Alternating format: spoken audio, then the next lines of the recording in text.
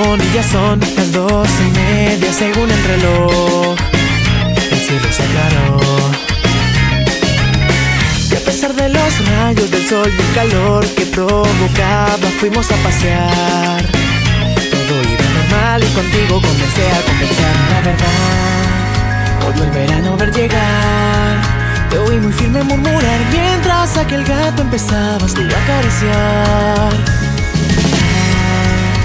Pronto el gato se escapó y hasta la pista se corrió y tú solo fuiste tras él sin notar que la luz verde rojo vivo cambió. Un camión llegó a una gran velocidad y con toda su fuerza sobre ti pasó.